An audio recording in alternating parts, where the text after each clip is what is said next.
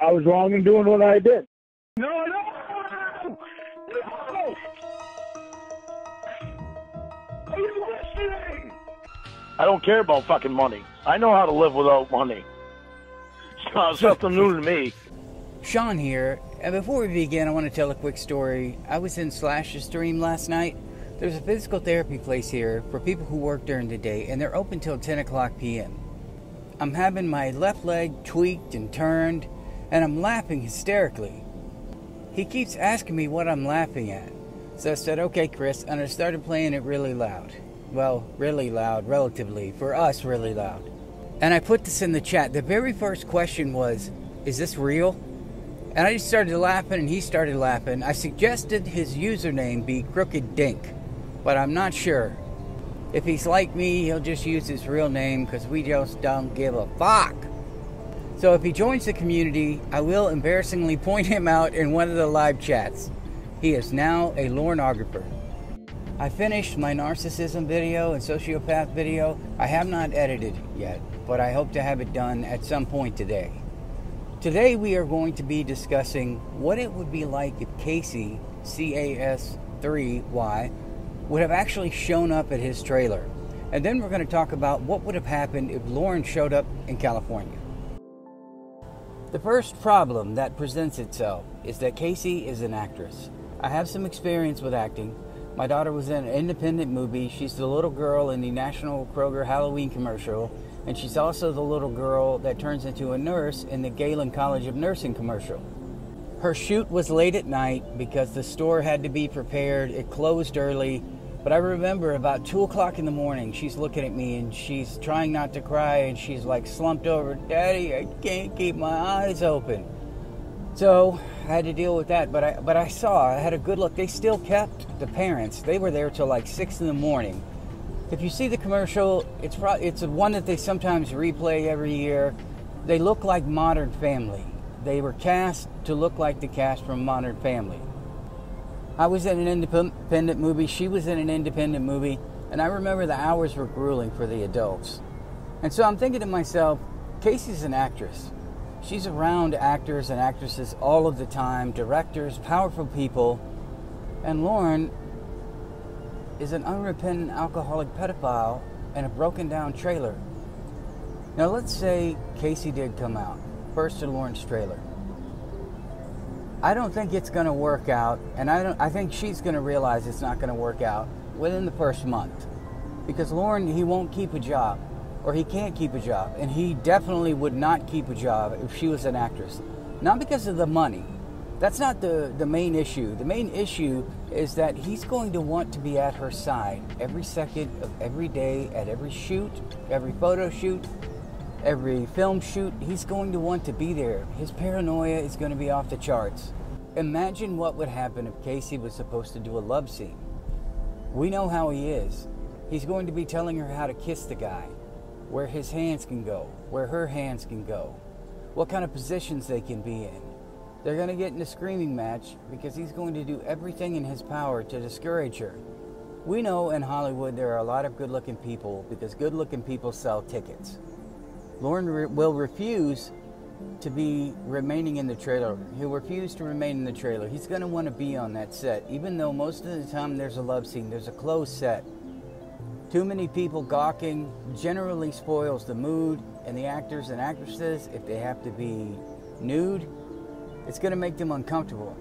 So I ask you this how uncomfortable are the directors and the lighting guys and the sound guys going to be when this unrepentant alcoholic pedophile fights his way onto the set, demands to be on the set? I don't think he can keep his mouth shut. Even if Casey told him, Lorne, you need to be quiet or you're going to be off this set. I think he'd be talking to the director, and you know, that's my woman right there. You know him. that's my woman right there. We, you know, make sure, you know, we're together now. Make sure she's not doing anything that's going to be not appropriate. I don't think Lorne can keep his mouth shut. He'll want to talk to Casey between takes, and eventually he's going to be asked to leave. Casey's going to finish the scene. She's going to be happy, probably exhausted, probably relieved not to be naked anymore or not to have to worry about people watching her make out with someone and, and pretend that she's having sex. Lorne's going to be asking her, Why'd you kick me out? I didn't kick you out, Lorne. They asked you to leave because you were being annoying and you were disrupting the shoot. No, they kicked me out because you were doing something you weren't supposed to be doing. He will want to screen her roles from that point on if he didn't try to screen them already.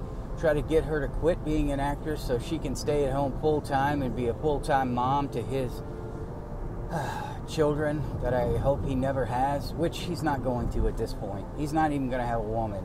He will die a virgin. Can you hear Lorne right now? Why can't you do any comedies? You know, comedies be good.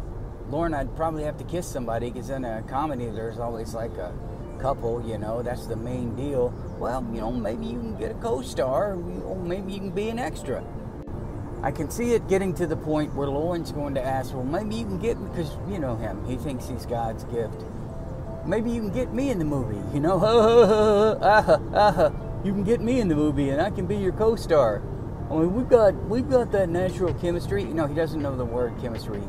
We look good on screen together, not realizing putting him on screen would be death to a movie. If she really liked Lorne, and I don't think anyone would, let's pretend. If she really liked Lorne, maybe she cuts back the number of roles she takes, which wouldn't happen because the way that it works is once you get a commercial or once you're in a movie and a director likes you or somebody sees it or you have a recognizable face, you're going to start getting more roles. There's a guy I've spoken to a few times. His name is Jeremy Gardner. If you want to see one of his movies that I love, it's called After Midnight. It's a really good movie. Jeremy is an independent actor who has all the skills in the world. He looks good on camera. And that's just proof that it's really difficult to make it. Yes, he's been in a bunch of independent films and has a little bit of clout on that scene. But at the same time, just like my friend Brett Hopkins, you can be in those movies and never get past that level. You'll be working with the same director or directors for the rest of your life. You have to have somebody that notices you. And another issue with that is Lorne thought going to carry karaoke bars was going to get him noticed. Well, can't you get in local plays or something, Casey? They'll discover you there. Lorne, I don't need to be discovered. I'm already in movies. I'm already doing modeling. Why would I need to go there? Well, you know, maybe the right director. I, would be much appreciated. It'd be much appreciated if you did those local films and local local things rather than being on the Hollywood big screen. You're not you. You haven't been you. You haven't been you. God, I love you. Ever since we got together, those movies are interfering in our life. If she worked with the director more than once, Lorne would assume they were having sex. If she worked with an actor more than once, Lorne would assume she was having sex with them. He would say, "Now, now, you didn't really do anything because you know Mickey Rourke and Lisa Bonet. He kind of just went for it. Billy Bob Thornton and Halle Berry, they kind of just went for it on screen to make it real. How do I know you're not doing that? I'm not name dropping or bragging I'm just telling you these are the people I'm using for a reference. And having seen it firsthand with my daughter, I know that people will kill each other just to get a commercial role. So again, put it, it's all about your resume. Casey's resume, when Lorne first met her, was probably a bunch of teeny weeny independent films and To Catch a Predator. And if this Casey was real, she's made something of herself. She used those connections to get ahead and she should be commended for that. That's really difficult. And she also has a loyal following. I'm sure there are a lot of To Catch a Predator people that are just, you know, they put out that hot girl Casey montage. Her entire life would be upside down. Tell you how I became the Prince of Cornville, the Fresh Prince of Cornville, the Pedo Prince of Cornville. A brand new trilogy, Lord of the Trailer, I think Lorne would try to get into her movies. One thing I'm shocked. Maybe I missed it. Maybe it happened and they just didn't record it. Lorne is so boring. And Blue Boy is trying to edit those in a way that is entertaining to us, which is why I think we're getting it in short bursts, not just to prolong the content, because we all appreciate that. It gives us something, I'll appreciate, it gives us something to look forward to. But Lorne is so boring.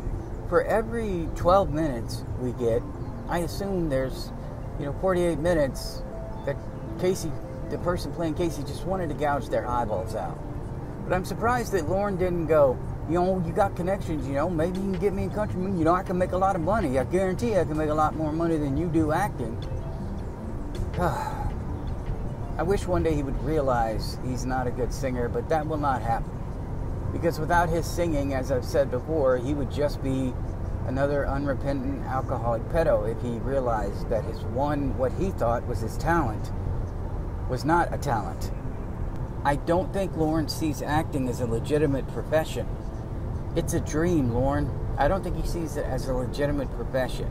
Well, you're just pretending. Can't be that hard. Now let's jump to if, well, he would want her isolated in the trailer, obviously. And the only thing she'd be able to do is Rod's auto and auto body and repair commercial locally. And he'd have to be on set for that as well.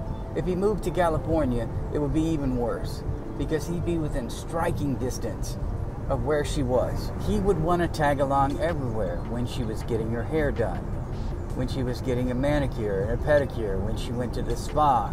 He would not want to be separated because Lorne couldn't understand why are we why don't you want to be together with me all the time because he thinks that's what it is. He wants to go right to marriage. There is no dating. Lorne would not have his own place. He'd be furious that he wasn't moved in with her and he'd be showing up at her house just like he would with anybody. Now, if I was Casey, and I did care about this guy, but I knew he had a tendency to freak out, you could lay some ground rules. And if Casey was smart, she'd live in an apartment complex with a gate on it, a gated community where you have to badge in or something to keep him out. I mean, God knows if you have to go that far in a relationship, it's time to move on. I think going everywhere to her auditions to her auditions. It's all about image. Yeah, acting skills important, but how do you look on the screen? You come out, you call her in, and you see her sitting next to this 90-year-old looking pedophile, and you're she's probably thinking to herself, "Oh God." Who you are with, believe it or not, makes you a package deal in Tinseltown. You don't want to be seen with people who make it look like you're bottom of the barrel. You don't have any clout. It's going to tarnish your image. And if Lorne followed her to every single audition, it's going to have a negative impact. Now, I'm not some Hollywood insider, but I told you I have friends, TV, streaming services. I know what they're looking for. I know my place. Putting together a Hulu Dark, putting together one of those shorts, probably 15, 20 minutes. I know where I am on the food chain. I am not going to be some Steven Spielberg. I enjoy it.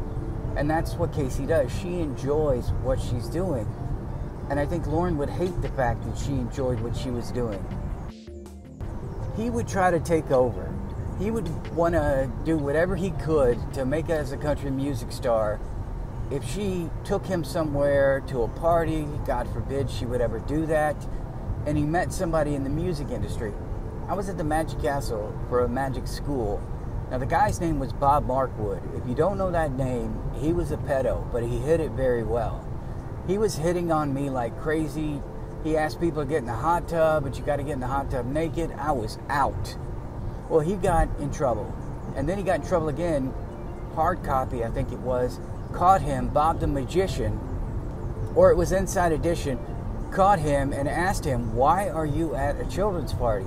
Bob Markwood, Dom DeLuise made us spaghetti and meatballs. That's the connections that Bob Markwood had. That's not even B list. We're talking C list. People were there that had connections, famous magicians. We had a musician come in and tell us what it was like in the music industry and how he created his own identity because it was how to market yourself as a magician. Lorne would see any hey, how are you doing as we are best friends now. Or any woman that said, oh, nice to meet you. He would go home and tell Casey, you see all those women hitting on me? You better lock me down. Uh, uh. Lorne is not a traveler. He's not. He would want to go back to Cornville. He'd be telling her, we need to go back to Cornville. We could live in Cornville and you could travel all over the world. It's in Maine. There are a lot of opportunities in Maine. Like what? Well, I can't name any, but you ask me three years from now, I'll be able to tell you. And the problem with Lorne is he might invite his brother Roy out. I don't know what their situation is, but I do know Roy makes him feel better, so he'd invite Roy out. Maybe. And he would wreck everything, but if Lorne was at a party, he'd be blind drunk, doing a bunch of stupid shit, and I can see in the middle of this party Lorne telling everybody he can't sing. And finally, they just get sick of it and say, Oh, sing us a song, Lorne. And he starts, and Casey has her head down. And Lorne wouldn't be able to tell, I better wrap this up because I'm embarrassing her and everyone else is cringing or they're laughing. They must be telling a private joke because they're not laughing at my singing. Now tell me you wouldn't you couldn't see him stand up in the middle of one of these power parties and start singing using every opportunity in the world to sing. He would write a poem for the director. I appreciate what you're doing for my girl. I want you to know that acting is her world. I'm just making this shit up. I could see him doing that. I also, the first amount of attention he got from any other woman, I could see him trying to cheat on Casey. I'm not even sure they would have had sex, but we know Lorne would expect sex because if you're together, I can take you whenever I want. That's what he thinks. There's no scenario where this ends up helping Casey at all. No more hanging out with her friends, no more one on one time with any of them. Lorne would want to tag along, and anytime she would want to hang out with one of her male friends, that would cause a, knock, a knockdown, drag out fight. It would probably get physical. Casey doesn't seem like the kind of woman who would take that at all. The first time she even saw a little bit of it, she would kick Lorne out. But there's a problem. How would Lorne afford to be able to go back to Cornville? Would he hitchhike? I doubt it. He would be stalking her, probably demanding money. Well, you're the one that brought me out here. Her life would never be the same again because she made the mistake of bringing this guy, this psycho, out to where she works. As long as he was there, she wouldn't get invited places because they knew he was coming along. And part of being friends with a couple is it's a package deal. If you can stomach the significant other of them, you're good. But I had a friend named Jamie. We are not friends anymore because his wife is a fucking psycho bitch.